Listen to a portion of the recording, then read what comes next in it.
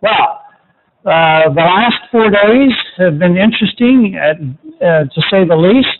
Okay, and um, uh, I I think it's uh, really um, uh, interesting some of the activities I've heard. A lot of commerce going on, a lot of great meetings, a lot of meet, uh, a lot of networking that had not previously occurred between individuals. Um, retailers have been meeting with retailers and learning uh, the, their secrets, so to speak, and OEMs with OEMs, third-party service providers trying to show their solutions. Um, so it's been, a, I think, a very enjoyable week for all that's been here. Our feedback so far has been pretty positive. I just want to share something with you guys um, uh, because we've heard we hear some some complaints from time to time on issues, but uh, we would love to say that we apologize for uh, asking for your ID each time you come through registration. But our insurance company has told us we need to look at your ID.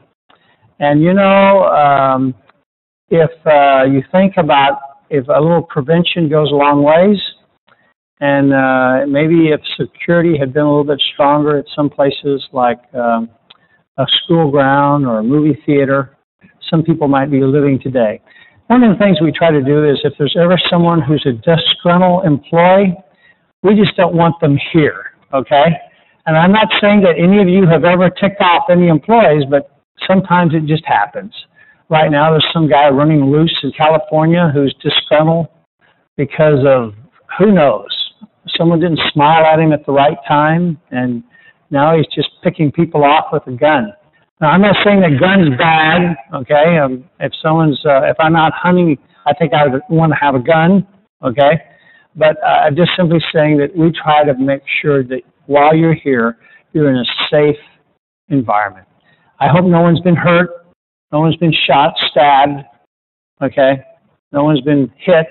All right, Kerry just hit one of his employees. I saw it. I got it. Anyway, we try to do that. So sorry that you got frustrated that you had to show your ID, but we're trying to protect. Well, our uh, keynote speaker for today uh, is uh, from uh, CEA, as we call it, Consumer Electronics Association. A lot of people don't know who CEA is. Uh, it's the group that runs CES, Consumer Electronics Show, one of the largest electronic shows, if not the largest electronic show in the world. Now, there might be some folks over in Germany who say they have a bigger event, but I don't think so. I think it's CES that, uh, that that's the bigger event. Uh, let me just tell you a little bit about the organization before I introduce Steve. Okay. Um, uh, uh by the way, uh, Steve Koenig has um, he's uh, he has a lot of knowledge, and that's why we invited him here. But I want to talk to you about his organization. Um, each year, they give the association a 20 by 20 booth um, at no charge. And the reason why they do that is they want us to educate their members about reverse logistics. And I think that's incredible. Okay, so for I one, I would like to applaud Steve for uh, for that. Okay. Now, the first year we went there was I think in 2010, and we had a little 10 by 10 booth, and people would be coming up to us and saying, you know, what's a reverse logistics? That's sort of that's sort of a joke. How can you be reverse in logistics?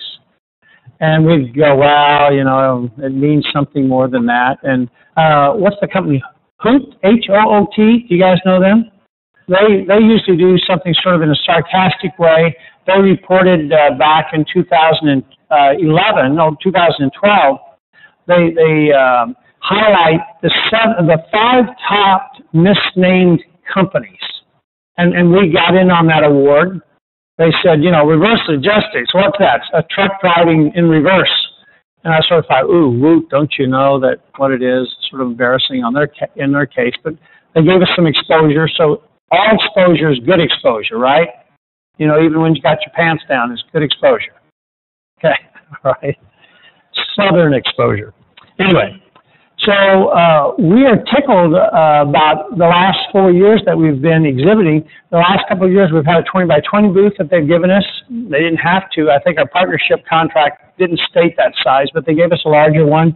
And you, our members, come and help us run that booth. We could not do it with our staff. There's just too many people asking questions. So if you're a member of the association, you can come each year and talk about what your company does in the arena of reverse logistics.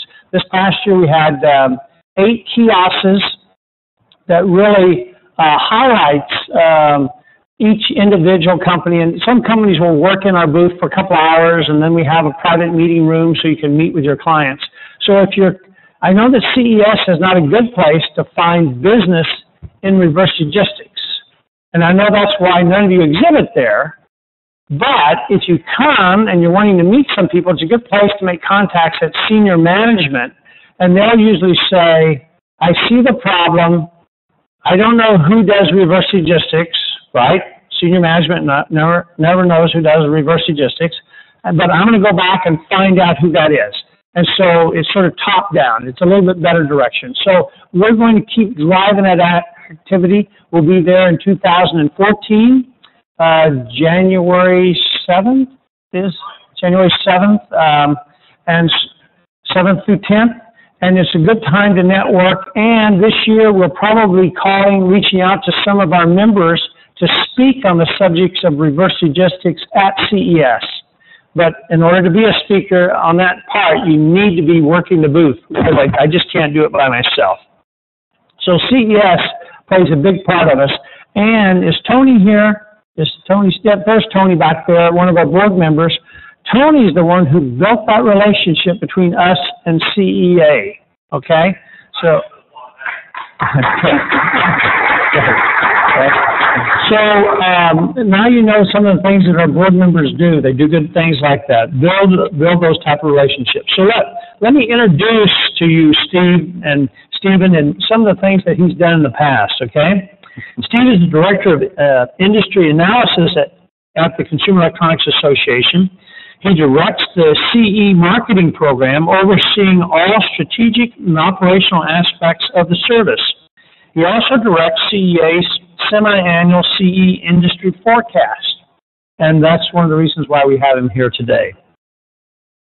As part of the market research team, he also supports CEA's consumer research initiatives from study design to data analysis. He's a frequent speaker at lots of conferences, and one one conference I told him recently, I don't want you to go to that conference. I'm, I'm just kidding. It's it's a company that tries to compete with us, okay? And uh, so I said, come hang out with us more. We'll we'll do better things for you. Um, he has a lot of analytical knowledge uh, that he's put together in the last 15 years and a lot of variety experience in, in the CE industry.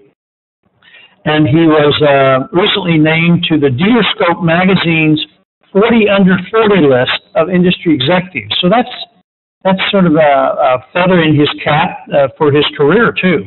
Prior to joining CEA, he worked as an analytic consultant for uh, uh, Comscore Media Metrix, and earlier as a technology industry analyst and account manager at NDP Group PC Data.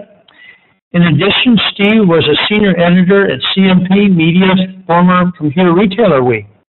He also worked at ARS Inc. as a competitive analysis focused on the IT industry.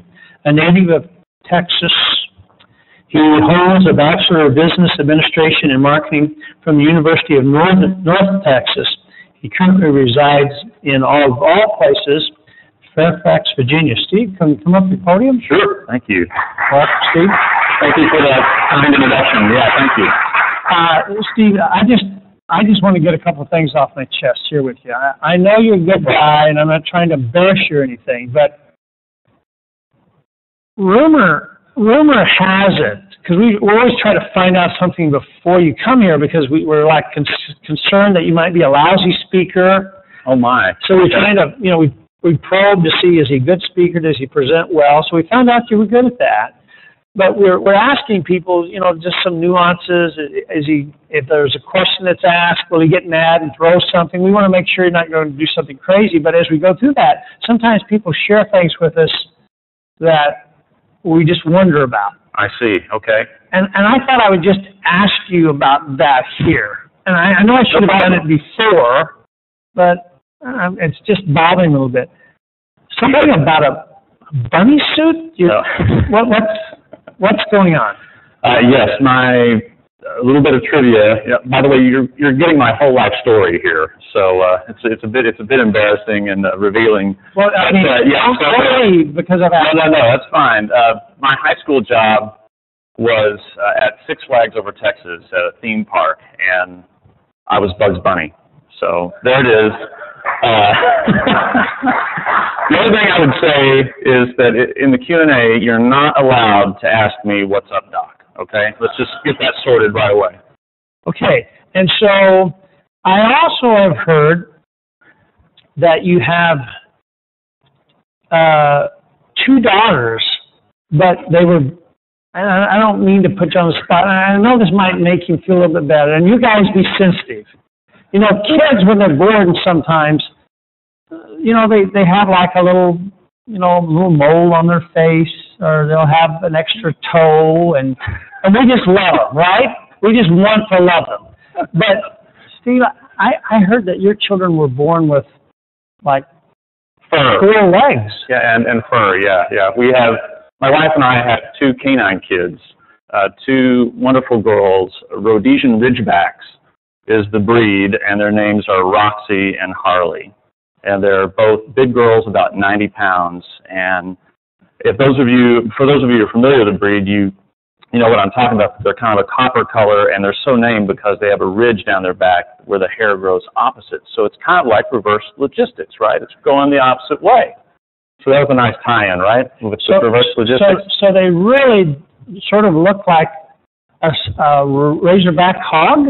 Uh, well, sort of, but they are indeed the national breed of South Africa. They were bred to help hunters hunt lions. They're a sight hound. So they're quite powerful dogs, but actually, when you get down to it, very loving, gentle companions, yeah. He says they're docile. Okay, so so something like this. So his wife's walking through the park with these two 90 pound dogs. You're a mugger. What do you think? What would you do if you were the mugger? Keep walking. Keep walking. Okay. And so, sort of a nice, friendly dog to have with you. So, Yeah. having mentioned that to you, so a couple of uh, nice furry kids that he has around to watch over him. Bug Buzzy, bu- I mean a bunny suit. Have you ever gotten the bunny suit around the dogs? I don't think I would try that. No, right. no, I wouldn't. I wouldn't recommend that. No. Steve, we're glad to have you here. Yeah, thank you, Gailen. Yes, thank you. And thank all of you for joining me on this final day of the RLA show. I know it's a big ask after a long week to to get out of bed in the morning, as Gailen was saying, with uh, with all the partying and things that are uh, inherent in a in a Vegas experience.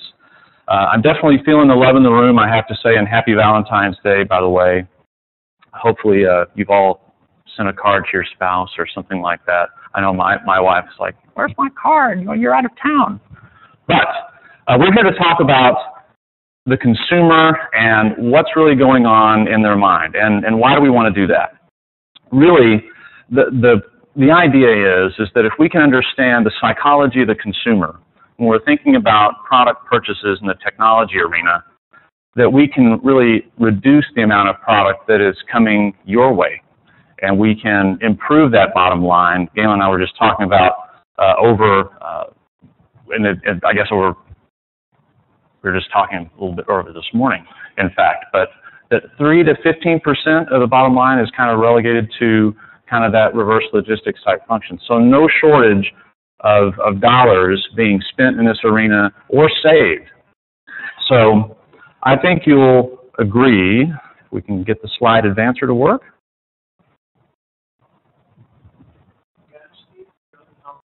Ah, there we go. Perfect. Just had to point it in the right direction. So I think this is going to be a fantastic journey, but our vehicle for this journey is not going to be a yellow submarine.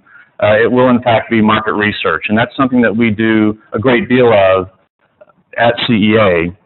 Whether it's consumer research, industry forecasts, you name it, we have a variety of research tools that describe really not only what's going on on the consumer front and at the retail store, but also out there in the industry at large.